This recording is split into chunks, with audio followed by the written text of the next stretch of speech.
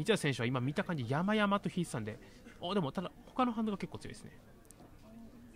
ショショック。ケンラボーマ先導者。先導者ですか。あ先導者ですね。おこれはお互いにキープですかね。さあ入るゲームの軸は？まあ序盤でしょうね。高橋選手が序盤からしっかり、えー、三谷選手を止めつつ動いていけるか、うんうんまあ、2ターン目のクリーチャーはかなり大事ですね、同一が出てくるか。はい、2、3が出てくると、ちょっと三谷選手としてはそうですね、バリスカもかなり頼りになるんで。そしてミッドレンジも強いですからね。この中一番寂しいのはやっぱり1、2ですかね、この。そうですね、カイトセールさん。はい。手札を奪うやつはちょっと寂しいことがあるかもしれない。はい。ただやっぱ赤タンって分かってる分ちょっとそうですね。もう光安選手の顔を見たら大体どのフォーマットでも 赤単で大丈夫というぐらい赤単を愛してるプレイヤーなので、はい、すごいですけどまさかリミテッドでも赤だったとは。そうですね。本当に赤いデッキだったのか気になるところですけど。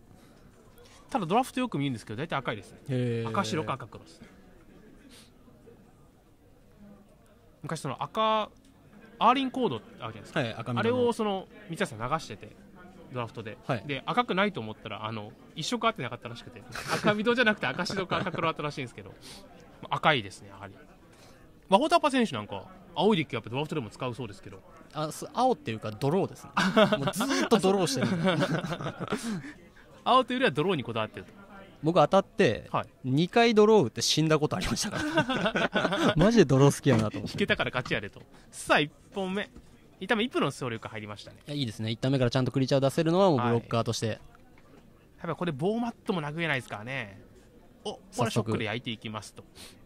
さあ2ターン目。これ出てくるクリーチャー大事ですが23はこの1ターン目に青マナ置いとこ出てこないの確定していくんでおハンデスと。さあただこのハンデス結構効きますかね。いや今のところ何もないですね。あ三安選手はちょっと土地が増えすぎて、はい今のドローが土地でしたね。そうですね。あの、はい、特殊系ですね。そう何も抜けないです。ただ抜けないとはいえ12はブロッカーとしてはそこそこのカードですかね。剣羅をブロックできるので。ニコニコしながら2ドローを打って死んでいったのがバボタパ選手です。さあガンガンいこうさあまずは剣羅と。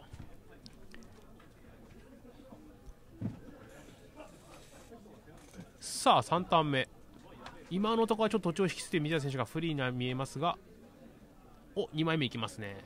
さあ増えたあるんでしょうか？フェニックス抜けません。まあまあ今回は本当にブロッカーとして、はい。まあ、とりあえず剣剣羅対応できればいいかなと、うん、そしてここはおお今ガンガン出てきますね。もう剣羅の対象には困らないぞと、はい、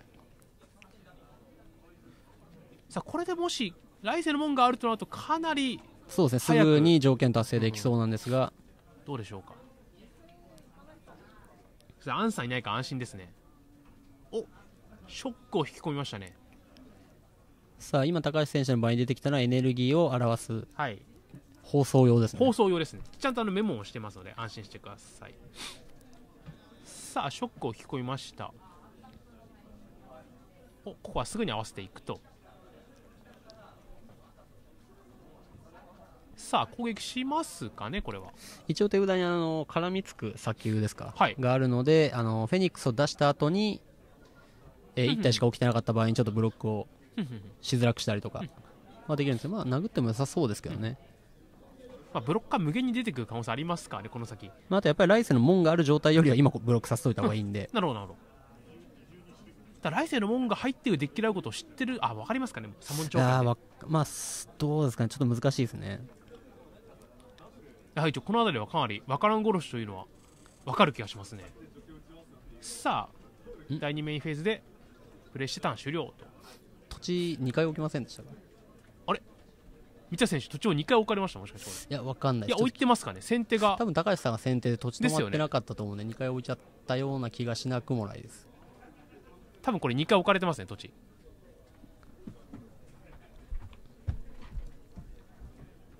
まあ、この1枚戻ってそのまま終わると思うんですが。さあ今ジャッジが気づきました、ね、そうですね。置いてますよね、うん、1ターン目ショック2ターン目ケンラ3ターン目がショックだったんで多分今が3ターン目なんですね。三谷選手にとって、ね、土地止まってないですかねお互いになのでちょっと1枚過剰に置いてしまったので。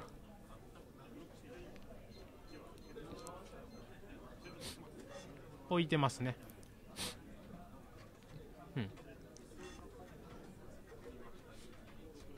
まあもう長いですからね、ドラフトも合わせるとここまで。予選ラウンドだけで10回戦プラス1回。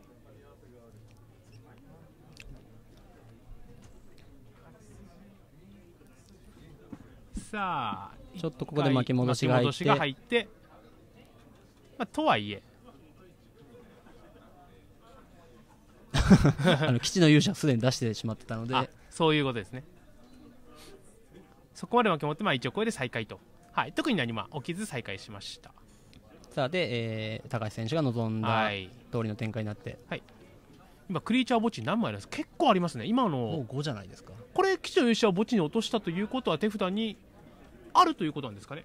高橋選手けども手札自体はかなり少ないので、はい、まあ、残った1枚は相当強いでしょうね、はい、さあここでフェニックスを出して。注文通りの。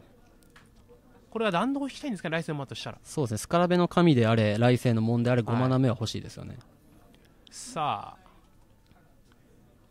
このフェニックスも人質取りで対処できますね実は。いやすごいすごいです ただ取った後がちょっと弱い。死んだ時にあ高橋選手の場にトークンが出てでフェニックスは三谷選手の墓地に落ちるから、はい、まあ、一応対処できてるんです綺麗に。綺麗に対処できてますね。こいつけど最近自分で使って気づいたんですけど、はい、このトークンがブロッカーになるのもめちゃめちゃ強いですね。最悪。フェニックスをブロッああのあのフェニックスが追放されたとしても、はい、ブロッカーが1体残るっていうのがすごい強いなと思って、なるほど、まあ、もちろんフェニックスが帰ってくるに越したことはないんですけど、はい、フェニックスが落とした糞とか呼ばれてますけどね。いやけど本当に頼りになる。赤緑系のデッキとかにはすごい頼りになりますね。さあこのフェニックスがスルーする構えですかね。高橋選手は。13ということで。序盤はブロッカーがいてなかなか殴れなかったんですが一気にここは三谷選手がおおしかもフェニックス2枚目ですね。回避能力強ですねさあ。さあ高橋選手ももう。手札のカードが何なのか気になりますね。来世の門だとバリスタで自分のクリチャーを撃ち殺すことによってルーティングは相当な回数できるんですが、はい、仮に土地を引ければ。来世の門の可能性が高いですからこれは。お。門なのか。おお来ました。まずは来ました。ただ。ちょっとただフェニックスに対してはツルクリーチャーが。あエンドしましたねうん。一旦はブロックしつつルーターをする構えなんでしょうか？12、えー、海賊12でブロックして、はい、三安選手はちょっと策略とかがないと次のターンから往診自体は、はい、さあ動いてしまいますが。さあどうでしょうか？ああ引いたのは山々ですね。フェニックスを2枚引き込んだまでよかったんですがただこれはケンラが帰ってくるので。そうですね。飛行をブロック不可能にして全員で殴ると、はい、結構いきますか？1点ゲインはされるものの8点は確実に入りますね。そうです。空中は絶対通るんです、はい、空のフェニックスはブロック不可能なのでそれは確実に通ってただ高橋選手も自分のクリーチャーを撃ち殺すことによって来世の門が2回最大で誘発したりするので、うん、このターン仕留めきることは絶対できませんね、うん、さあそこから高橋選手のルーティングがどれぐらい強いか、はい、何せ勇者が落ちてますからね。おここはケンナではなくマイナ1をさあ合わせて撃ち殺しに行きました。さあそして誘発しますと。来世の門が誘発して残りが14これは次のブロッカーに対してケンラを使おうという。そうですね。6枚目が今もう手札だけで確定しているので、はい、そういうプレーかなと思います。多分ですけど往診で帰ってきた44飛行をアンブロにしたいんじゃないかなとこれだと往診で釣ってブロッカーに立たせた場合は積んでしまう。高橋選手、今のところバリスタで自分のクリーチャーを撃ち殺したとしても2点ゲインまでしかできなくて、はい、ライフが8でただ飛行クリーチャーを起こしてエンドだと墓地の剣羅で合わせて罪と。だから高橋選手としてはスカラベの神とかぐらいを釣らないとちょっと厳しい状態ですね。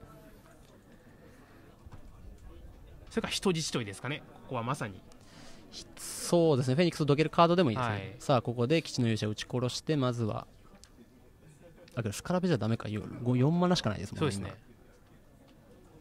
ランドと。さあ現在ライフが7さあ。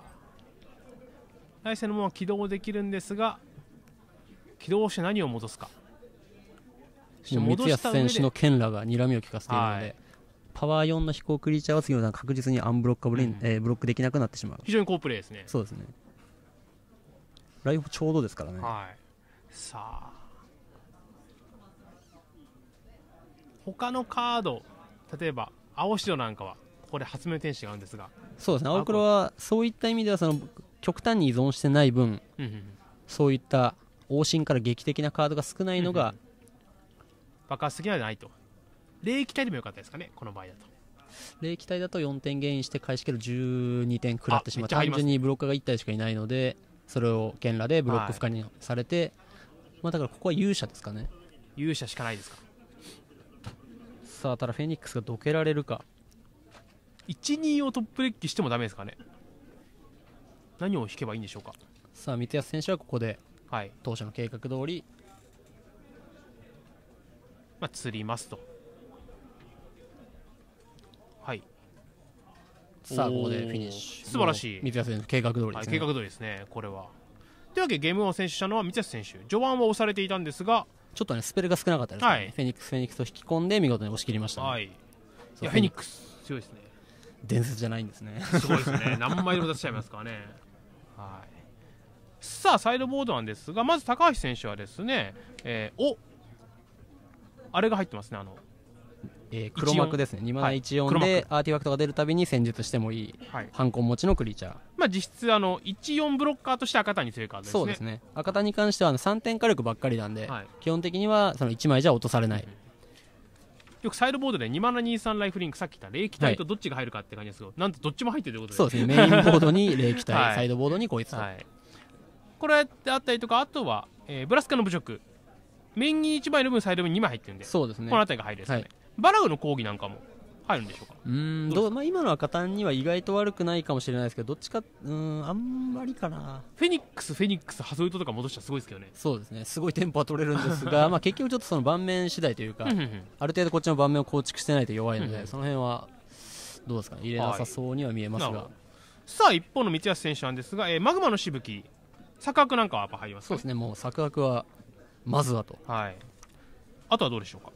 まあ、あとはやっぱ基本的にちょっとサイドゴ重くした方がいい気がしますけどね、はい、栄光をもたらすものとか、チャンドラとか、えー、まあそれこそ軽い除去もそうですしその黒幕とか、はい、えー、霊気体みたいなカードは簡単に予想できるので、その辺をずらすという意味でも、まあ、プレーンソーカー大体の場合において強いので、はい、サイドボードは。特にライフゲインが入ってくる相手にはライフされ回復されてもいいようにちょっと重いカードを入れることがそうですね。もう1枚で勝ってくれるカードの方がゲーム展開が楽なので、まあ、ショック与えるとかあとクリーチャーもあんまりいらないカードがちょっと多いんですそうですね。先導者とかは全然なくてもいいと思うので、さあというわけでサイドボード後は？少し重くする。はい。この重くするなんていうのはスタンダードで結構前からいろんなデッキであるテクニックですねまあ一番顕著だったのが2年前ぐらいのマルドゥ、はい、1年前？2007年ぐらいのマルドゥが一番すごかったかなと思いますけど、うん、キランとか全部抜いてもうプレーンゾーカーコントロールにサイドを変身できるっていう。ソリンとか入ってましたかね。そうですね。ソリンとか苦い心理とか。はい。あそこからですね僕は結構明確に意識し始めたらこれぐらい、まあ、そんなにはできないんですよやっぱり、いつでもあれぐらいできるわけじゃないんですけどやっぱそれぐらいやった方がいいんだなっていうのは、はい、あれが一番勉強になったなと思います。チャンドラ4枚とかももう今ではね当たり前ですけど、ちょっと一昔前ではなかなかやっぱ皆さん想像できなかったんじゃないかなっていう、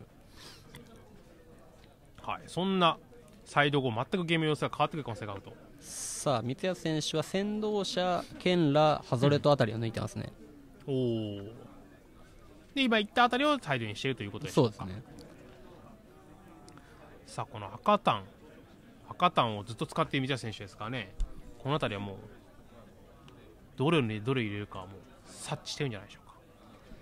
まあ、ただ今のスタンダードはそれでも、それぐらい赤タンを使い込んでる人でもわからないマッチアップがあるんじゃないかなと思わせるぐらいいろんなデッキがいますね、はい、スタンダードかなり面白いです、ね、面白いですね。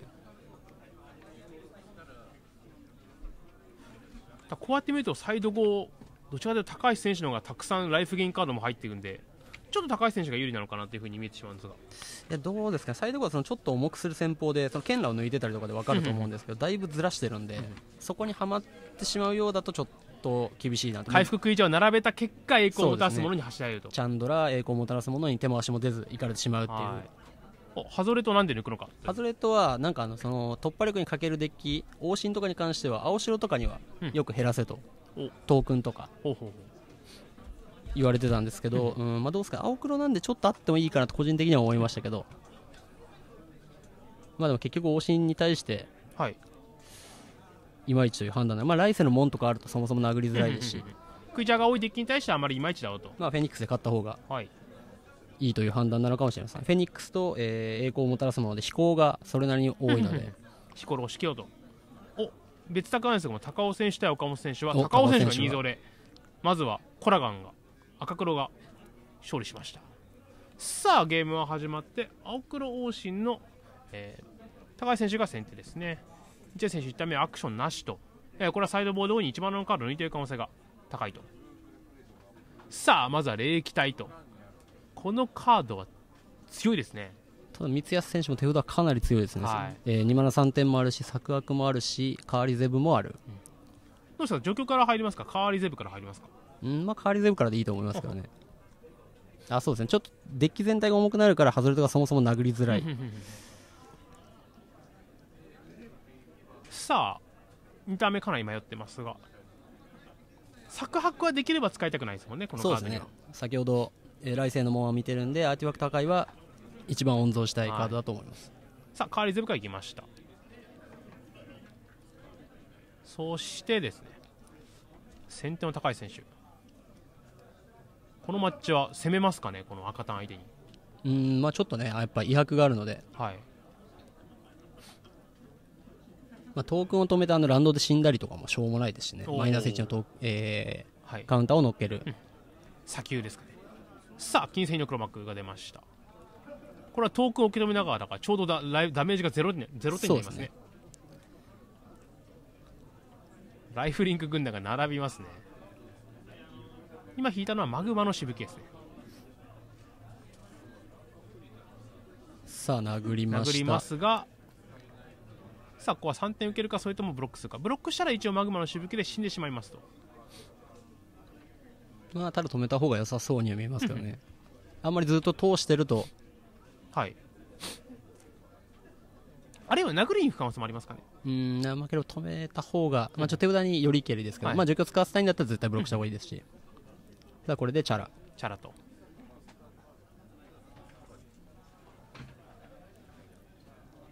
じゃこれは除去と手札には稲造チェキもあるので一気にこれ除去と。さあ後手のこのさばくという三谷選手の赤たんですが。もうサイドが全然歴史違いますからね、はい、いろんなプランが取れる。さあ一方一気にブロッカークロックもいなくなってしまった高橋選手ですがこれ大勢のもんちょっと寂しいですねこの場そうですね。もうクリーチャーも除去されきった後ですし、はい、三谷選手はしっかり策枠も構えているので、はい、まあ、こうなると高橋選手としてはスカラベの神ぐらいインパクトがあるカードが欲しいですね、うん、おそしてこれ策枠を引き込みましたね。策枠は大体ライスの方に打っちゃいますか？それとも、まあ、まだ打たないと思いますけどね。展開次第ですけど、まあ、2マナ起こして動けるならさあ力強く。さあそして今置いたランドはあ先砂丘ですかねそうですね。マイナス1する方ですね、はいさあこうなると高橋選手このターンには絶対に6体、まあ、ほぼ確実に到達できない、ね、バリスタ、バリスタ、バリスタみたいな。それぐらいが必要になるんで。青若推しの違ってその一気に増える材料がちょっと少ないのがそうですね。さあなのでもう三谷選手はここでしっかりクロックを作った上で、はい、あとは構えたいと。そうですね。さあこのフェニックスのダメージが通り始めるともう一気に三谷選手が有利になるんですがまずはブラスカの侮辱が合うのかというところですね。うんまあ、ただブラスカの侮辱があるとちょっとメインで打ってそうかなって感じはしますね。やっぱ除去でかわされちゃうので一応。ああなるほど。さあ出てきて攻撃宣言。はい。さあ侮辱があるか。おありますね。ただどうですか錯覚打ちますかね。あ打ちますねここは。これ打たせることがもしかして狙いだった可能性も、ね、狙いの可能性は全然あります。ただもう1枚あるんですね。そうですね三谷選手としてはだからこれはかなり嬉しいプレーですね、はい、フェニックスが残った方が絶対嬉しいんでちょっとだから噛み合わせが悪いですね、はい、高橋選手は本当にその策略をあぶり出した格好ではあるんですけど、三谷選手がたまたまもう1枚持ってると、はい、さあ。さあ今のところも三谷選手の理想通りの展開でゲームが進んでます。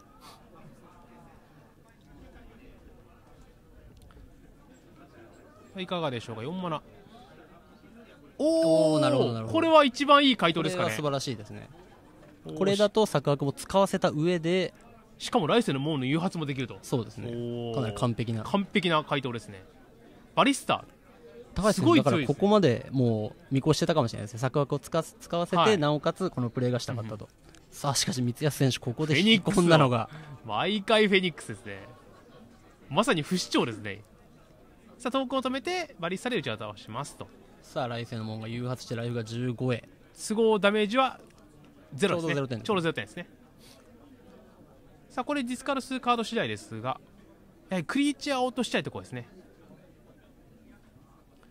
おおってめちゃめちゃ強いから落としましたが。さあクリーチャー今3体ですかねこれで。まさかサイキャを霊気体が墓地に置かれると思わなかったんでちょっとびっくりしてました。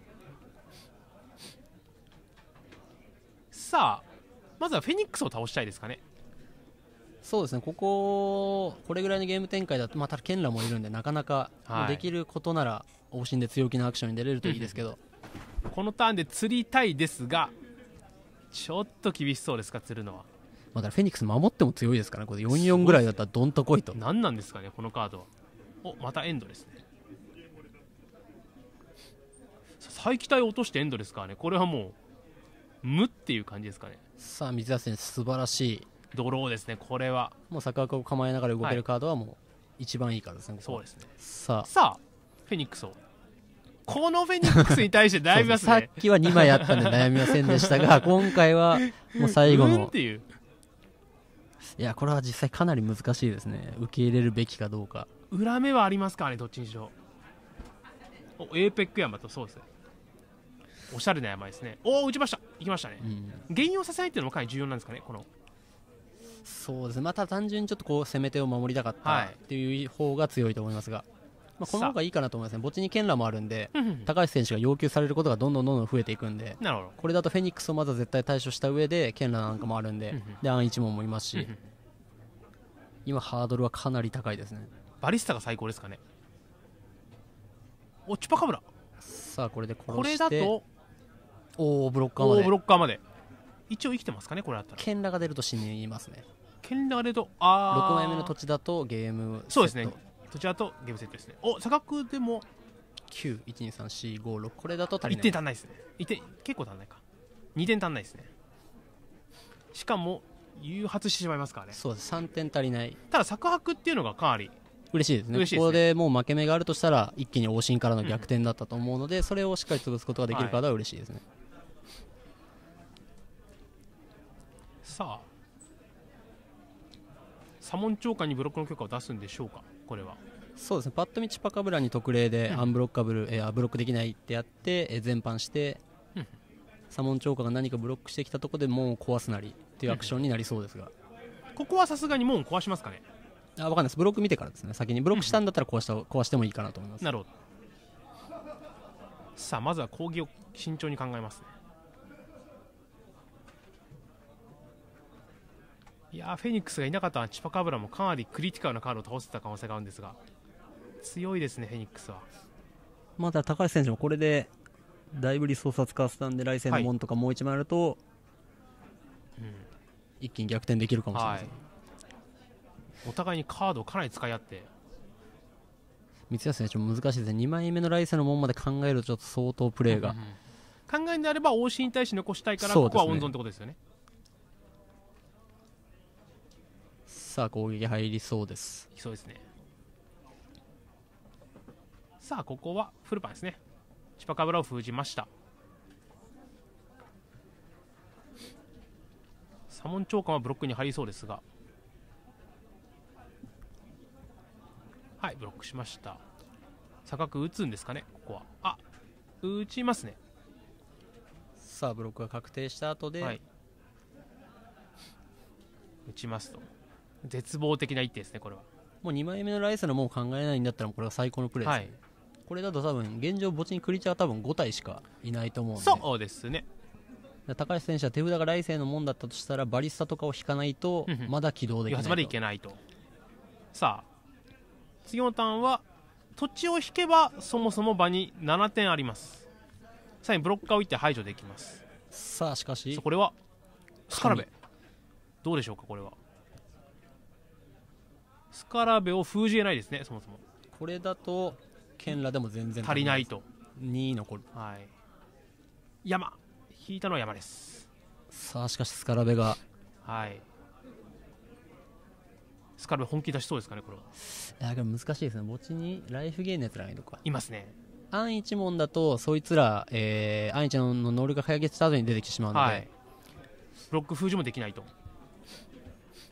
なので三安選手が本体火力とかを一旦引かないとゲームが終わりそうです、ね、うん、スカラベの制圧力で高橋さんが逆転できそうな、はい、さあここはただライフを削りにいきますね。まあこれはもう軽くでライフを落とすためにそうですね。3以下にしておこうと、はい、さあ3点ライフは残り2ショックでも大丈夫ですね。もう三安選手猶予が。はい、あと1ターンしかないと。さっきまでちょっと三田選手押せ押せだったのにこのスカラベというカードが出た瞬間に。スカラベというカードは凄まじいですねさあライフが2さあアップキープにするかどうかめたただ釣ってしまったらこれは積む可能性がありますかね？そうですね。一問の能力でアンブロック、はい、えー、ブロック不可能にされてしまうのでとりあえずアン一問の能力が解決するまでは何もしない方が。ちなみにチュパカブラってゾンビではないんですね。こいつなんすか？なんか変なクリーチャーですよね確か。チュパカブラクリーチャーチュパ チュパカブラですかね。チュパカブラって突然とおビーストホラービーストホラー。欲しいですね。ゾンビつけてもよかったんじゃないでしょうか。さあ三安選手ここ。さあ引くかどうかですね火力だったら勝ちですが。これはもう山ですね。となると話はこうなると話は変わりますかねこれは。神が神たるゆえんを。もうスカラベがなぜ私が3000円するのか教えてやろうみたいな感じですかね。いやこいつはねやっぱ強いですからね、ちょっと対策カードが最近は豊富なので、はい、ただこんだけ意識しないといけないカードっていうのがそもそもすごいですよね、ね、スカラベ対赤タンいやスカラベ。ちなみに赤タンであのスカラベ倒す方法としてあの 4, 4マナで5点。あるじゃないですか。あれがなんか巷の噂ではラムナプレットにおけるブラスカの侮辱って呼ばれてる いやけどそれも分かるぐらいうなずいてしまうぐらいこいつはどうしようもない、はい、さあそして OK と。こうなるともう止まらないですね。そうですね。もう攻防一体ですからね、はい、なぜ守ってもこんなに強いんだと。スカラベの神強いってこの放送で何度言ってきたか分からないですね。さあ下に置いてドローと。さあ最近ある霊気体ついに待望のアタック、はい、そしてライフリンクが墓地に落ちまくってますからね。大量にあります、大量にあります、ね、黒幕とかもまだまだ。大量に控えてる。黒幕がこの黒幕たる夢を見せつけに来ましたからね最近ライフロックにの黒幕はもう黒幕じゃないですからね。悪残よりっていう。ボスみたいなもんですからねただの。さあそう墓地から次々と悪山が復活するようなもんですね。そうですね。毎ターン悪山が確定している状態。しかもブロッククリーチャーして前という極悪なタイミングで出てくる。山と。さあここで。ここはもう。あと一息でしたけど、ね。ね、見事にしのぎ切りましたね。高橋君プレー丁寧でしたね。いや素晴らしいですね。フェニックスのしのぎ方。多分だからあのブラスカの侮辱とかはわざとメインで打たずに三谷選手に策悪を使わせてその上でバリスタで打ち取る、いや非常にスタンダードもう名人というプレーですね。そうですもうやっぱり慣れてますね慣れてますね。プレーが。素晴らしいです。侮辱をケアあの策悪をケアするのはできるけどあの策悪を打たせようと思ってプレーするのは素晴らしいですね。さあというわけでゲーム3に移ります先手後手でサイドボードはどうでしょうか？先手だと攻めるっていう感じなんでしょうか？三橋さんは。うんどうですかね。基本的にはあんまりそのグローリーブリンガーとか単純に強いんで残しそうな感じはしますが。やはりさっきのあの23接種であるとか、ね、黒幕であるとかああいうカードに対してやっぱいちょっと寂しいので抜くと。なんですかね。向こう水とハゾレトをサイドインし直そうと、はい、向こう水はあれでしょうか？スカラベの神に対してできるカードとして言えてるんでしょうか？うんどうせちょっと重いですけどね。はいさあまああとやっぱりあれああいうクリーチャーの布陣を見るとちょっとハゾレトは普通に強いかなっていう気はしますけどね。逆にですか？まあ、やっぱあのライフゲイン軍団とかもほぼ無視できますからね。外れと入れ直すと、まあ、先手ということも考えてちょっとデッキを軽くする可能性は一応なくはないですかね、ね、さあまあ何枚入れ直すか次第ですけど。もともと全部は抜いてなそうでしたけどね。ちょっと枚数を増やすぐらいのチャンドラとかも入りますからね。かさばると負けてしまいますもんね。そうですね。外れると1枚だけかな、はい、パッと見。さあこの作白をあんなに食らったのに普通の往診だったら勝てなそうなところですけどそこはもうミッドレンジ往診とまあ、てかスカラベです。そうですね。やっぱ本当に依存してないという強みですよね。もうスカラベだけでもあれぐらいのゲームメイクができるので。とはいえ爆発力があって、まあ、抜くほどでもないという感じなんでしょうかね。そうですねさあ1本目は高橋選手が有利な場から三橋選手が見事に勝利。それ2本目は三橋選手が有利ながら高橋選手が見事に寸出のところで勝利ということで非常にお互いの持ち味を出し合ったゲームになってますね。ザスカラベゴッドが。ザスカラベゴッドが。いやいいですよね。僕最近のスタンダードのクリーチャーの中でもかなり好きなクリーチャー。ですか？まあ、スカラベ嫌いな,、まあ、な人いない。いない、ね、使われてる側 使われる人は嫌いかもしれないですけど使う人からしたらこんな強いクリーチャーいない。絶望的ですか？あああったよね。負けた負けた。あの悪山と似てますよね昔いや悪山よりひどい。悪山より好きですね僕は。まあ、ほぼ死なないですからねそうですね。あ悪山は寺で死にますからね。はい。死んでも戻ってきますからねさあ三安選手。おサイドモードを今ちょっとまた調整し直してますね。アンイチも今入れ直したんでしょうか？いやアンイチも抜こうとしたけど違う。やっぱりやめたと。ショックに今手をかけてますかね？ショックどうですか？このマッチあんまり強くなそうに見えるんですか？うんそうですね。多分うん抜いてそうな気もしますけどね、あの左門長官とかどうですかね、まあ、単純にブロッカーとして残ってるかもしれないですけど、はい、結局抜いたのは今ケンラでしたね難しいですね。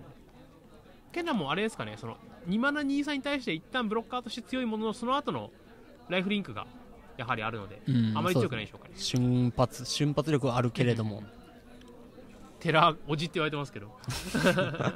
すみません。確かに最近あのツイッターでちょっと見たんですけど、はい、英語でカードを言うのがダメみたいな、ね、ダメっていうかその分かりづらいからやっぱり日本語で言ってもらった方が分かりやすいですっていう。恐怖って言ってもらいましょうかじゃあ。あの恐怖でもあのそういう次元じゃない。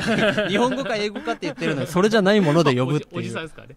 確かに確かに、はい、除去は全部テラーなんですよねとんでもないとんでもない。僕除去するので黒除去全部テラーっていう。赤い火力大体ショック。ショック。これからできるだけ日本語名も。今日の放送だけでも多分日本語名をいかに覚えてないかっていうのがね。そうですね MO が多いと。なかなか。いや最近ちょっとあの指定するカードでカバルセラピーみたいな、はいはいはい、名前覚えなくてよくなったんです、はい、昔は正式名称言わないと落とせなかったんです ショックとか言ってはいはい、はい、あショックはちょっと分かりやすい。なんだろうな。うんスカラベとか言っても、はいはいはい、ザ・スカラベゴッドって言わないと落ちなかったああなるほど。だ全部覚えなきゃいけなかったんですけど最近ちょっとルールが優しいんでそれに甘えてしまっている。大丈夫だということさあゲーム3選手土地もしっかりある土地が2枚なのは多少心配ですけど。右は先言うと新幹線の位置がちょっと分かりづらいですよね。もう伝説の1点目ボーマットボーマット貯金と。世界で一番強い貯金箱の可能性が、ね、そうですね。歩くアンリコって言われるぐらいですから、ね、歩くアンリコさあ土地を引き込めませんでした。まあただアクションはしっかりできそうですが、はい、さあ引いたのはフェニックスということで。ぜひとも日本語名でこの放送もさあ、さあ出します。早速難しい向こう水協調艦隊の向こう水です、はい、さあ金石の黒幕、ね、これは素晴らしいカードですね。やっぱりね赤タンからするとこいつはちょっとタフネス4というのが、はい、まずはランドを引きたい三谷選手。お引いた。3番目引きましたね。そして反応には稲妻の一撃はあるんですがタフネス4というのが素晴らしいですね。さあただいろんなプランは取れますね、はい、えー、あいつには先制攻撃。向こう水さんには先制攻撃もついてるので、どうですか？一定アタックアタックしてブロックを誘うこともできると。そうですね、まあ、ただ、アン一問もいるので、もうバンバンいってもそうですけど、さあ、行きました。行きました。ん？お一回戻ってきた。戻ってきましたけど。危ない、油断してなくてよかった。アン一問に僕らが特例されてる、画面が。はい。さあ、特例して、さあこう殴る貯金箱は3つ貯めてますからね。もうすでにアンリコ。はいもうすでにアンリコですね。三安選手手札最高に近いですね。最高に近い状況状況フェニックス。バには。引こうものだったら。さあどうでしょうか。ちょっとこの高橋選手の時は軽い状況が入ってないんですよね。そうでもクリーチャーで止める形ですから、うん、押し止める形なので。だとこのゲームプランはかなり三谷選手としてはもう押せ押せで。次フェニックスかチャンドラが出てこようものだったら。さあ歩行バリスタ。これはいいカードですねそうですねこの場においては。とアンさんすごいですねアンさん。しかもひっそりと戦術をしながら。黒幕の黒幕の隠れた能力。さあ。あ一問が起きないで他起きますと4枚目ランド欲したい。欲し欲しいです。ここは。さあ引くんでしょうか。見せてくれないですね。4枚目ランドがあるかどうか。まあでも土地ではなさそう。土地ではないですね。チャンドラスかね。あんじゃないですか。ああえー、あんですか？あんだったら結構すごいんじゃないですかこれ。あいや錯白ですね。錯白とアンイチも似てますねちょっと。まあどっちにしてもちょっとこのターン難しいですね。はい。いろんなプランがありますねどの道2体で殴るとはい。うん高橋選手のあまりにも行動が多いので、バリスタでブロックしていってみてもいいですし、黒幕で普通にブロックしてもいいですし。致命的な一押し入ってないんですよ実は高橋選手のデッキは。まあでもそんな対戦相手からすると絶対分かんない分かんないですからね。さあどう殴るかどう守るか。ここはいろいろできますね、はい、うん2-1-1体で殴ると多分バリスタでブロックして打ち殺されるかな、うん、バリス、えー、ボーマットが打ち殺されるボーマットボーマットですね。ボーマット普通にブロックして。まあ、手札でそのまた除去を誘いたい展開があったら1-4で強気にブロックしてもいいかもしれないです、うん、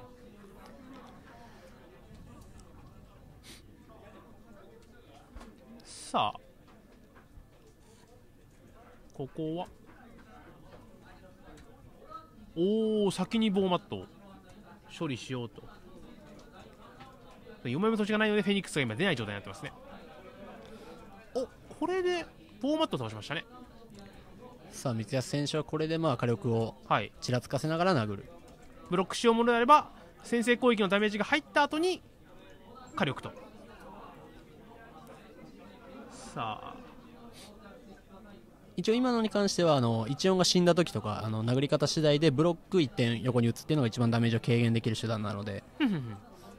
そのダメージをなるべく稼がせないか稼がせるようにこうこのような攻撃をしたということですね。ショックを先に打って攻撃が一番ダメージを取りやすいと。さあ高橋選手はどうするか。もう火力は見え見えですからね、うん、まあただ損ですからね。なかったら。さあ止めました、はい、で先制攻撃合わせますと先制攻撃ダメージが入った後に倒すことでライフリンクさせないと。ここでねチュパカブラとかなんなりで、はい、一門が死ぬと少し減速するんですが。人質取りでも一応大丈夫ですが。人質抜いてる可能性ありますかね？そうですね。ちょっと死んだ時のリスクがあまりに大きいですからね。これ勇者ですか？これだとちょっと厳しいですね。三安選手としてはもう安一問で黙るクリーチャーだったら何でもいい感じでしたね。ランドでも最高ですかね？もうドローは何でもいいですね。土地はかなり嬉しいですね、はい、えー、場にある絡みつく先を2ターン後に確実に使えるようになるっていうのを含めて。さあこのドローがゲームを決める可能性がありますがチャンドラプレイできないカードですね。まあでもそれでもここは5点ですかね。もう普通に特例して5点入れて。サッカーが温存ですかね。そうですね。今往診を捨てたのもあってちょっと、はい、うん難しい。まだ打ってもいいですからね。次のスカラベとかだと考えるんだったら、はい、さあ特例。特例して5点。まあ、ただちょっと遠いですねやっぱり、はい、ここがスカラベだったらかなり逆転ですかね高橋選手。今土地引いてると本当に相当楽でしたね。はい。で普段左門長官がちょっと分かる具合であとは何でしょうか。4番目の土地が欲しい三橋選手。1本目あんなに土地を引いたのにとさあかなり悩んでますね。人質取りをしたということは結構ハンドは強いんでしょうか？またちょっとリスクがありますからね、やっぱりそのもう成功すれば勝てるんですけど、うん、失敗した瞬間に負けるから、ちょっとこういう状況では出しづらいですよね。はい、さあ、おいいですね、渋い。渋いですね。というか、この場でめちゃめちゃ強いですね。いいですね、今、向こう水も殺せるし、はい、さあ。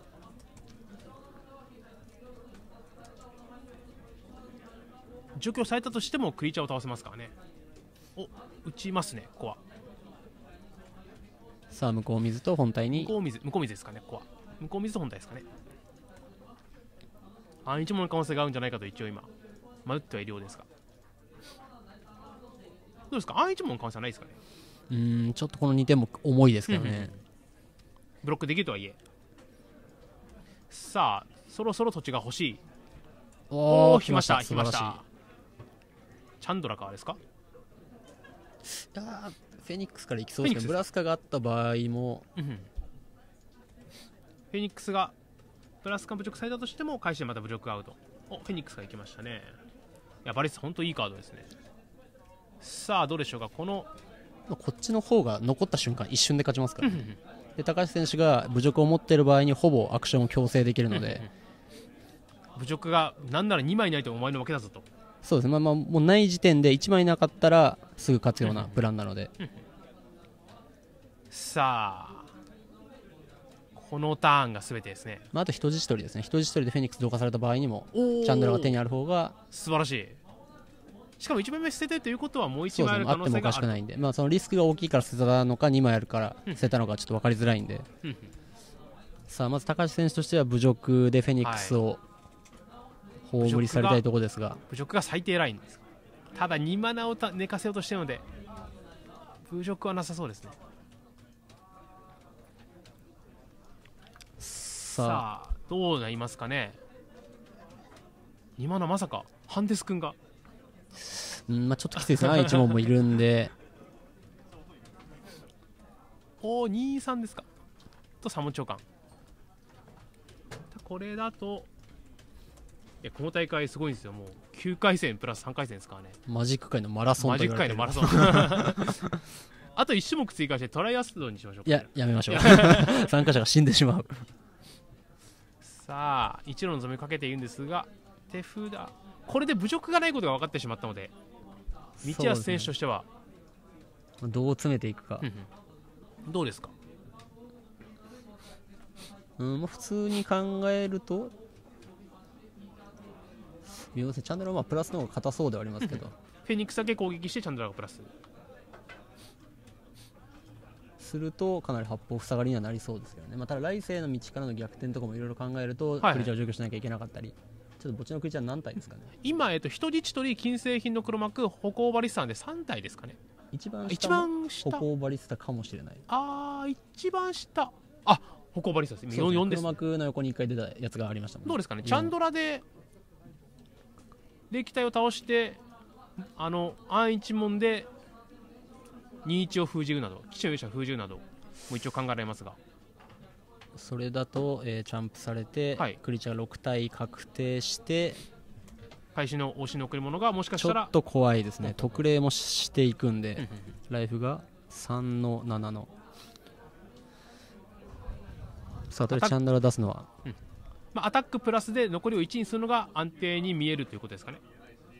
いや難しいです、まあ、プラスアタックがまあ丸そうには見えますけど、サモン超過が出てきたんで王神からの負け道っていうのは結構ありますね。あ、まあ、仮にこの状態でもそうです。クリーチャー2体落ちて来世の門起動とか負けうるんで、はい、その場合であれば今のようにその23を倒すプランも考えられると。こっちにしっかりライフ、えー、ハンコを持ったクリーチャーがいるので、はい、いや本当にこれは来世の門を考えるとプランがかなり難しいですね。そうですね。また5にした方が相手が全般しないとチャンネル殺しづらいので、お倒してきましたね。そして暗一門の特例を起動しますかこれは。おさあまあでもこれでどのみちクリーチャーは6体、はい、来世の門がなければ勝ちと。もうほぼ勝ちですね。はい。まあ土地がまずないですからね。さあアンタップの土地を引いてると来世門が一応誘発はしますが。タップインここがタップインですか。ただ侮辱を引いてるとおおすごい。これでアタックで。持ってたんですかね？今何度引きましたもんね。さあおすごい一気にがぜんライフが5ですからね？これ外れとしかないですね。このターンで数には。で数が相当狭いただ引いたのは山。おお素晴らしい。まさかの。もう高橋選手ブロッカー1体出すだけで全然有利になりそうですあそこで侮辱打たなかったんですね。また土地は？置いてました、ね、置いてなかったですよ。置いてないでエンドしたんで今のターンに引いたのが異臭の池だったんで異臭の池を置いて侮辱なんで持ってましたねさっきのターン。すごい。ただ打って開始ちゃんとあと負けると思ってあの食い茶展開からいったと。このプレーは光りましたね。さあこのマイナー1で倒しますと。さあ高橋選手、本当に、まあ、ちょっとこれだとブロッカー1体だけだとまだ死ぬ可能性はありますが、来世のもんであれば何も問題ないですね。さあ持っているんでしょうかありそうですね。おおすごい。そして往診まで行きました。ただ祈りますね今度は。作白頼むと。あもうできないんですね。1枚しか入ってないと。サイド後なんで。おおさあ。これが9になりますね。ただまだ作白を引けば一応間に合う可能性はありますかね。いやちょっときついです、ね、もう連続でトップできしないときついですよ作白プラスアルファが求められるぐらい逆転しちゃいましたねまずはうわただここでランドですね。ここでそしてこれ投了と。い。や高橋選手素晴らしいですね。はいというわけで決勝はですね今見事に勝利された高橋選手の青黒王神対すごいですね。赤黒。2本目からプレーがめちゃくちゃうまかった、ね、めちゃくちゃうまかったですね今のは。いやあそこでプラスカの侮辱打たないって考えられないですね。そうですねもうすごいです。対戦相手の視点からすると持ってないように見えたと思いますけどね。ただ今ので今のプレーされて絶対持ってるってことが分かりましたね。すごいですね。いや素晴らしいですね名人のプレーでしたね今のはまさしく。